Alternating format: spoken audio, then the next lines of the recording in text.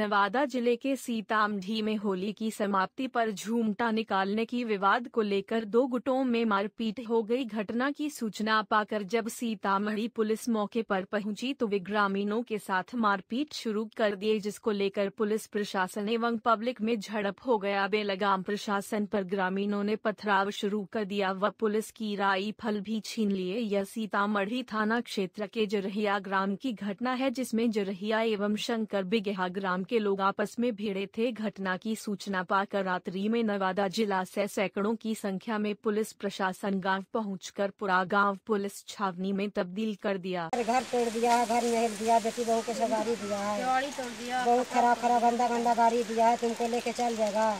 ऐसे कर करके गाड़ी दिया है।